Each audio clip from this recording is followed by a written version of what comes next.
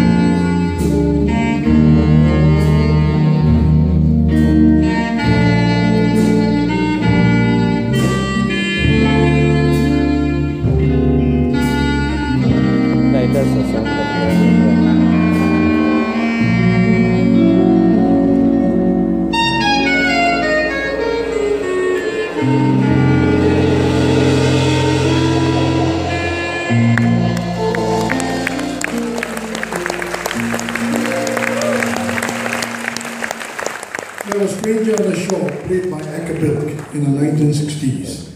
Well, you're going to hear Paul now.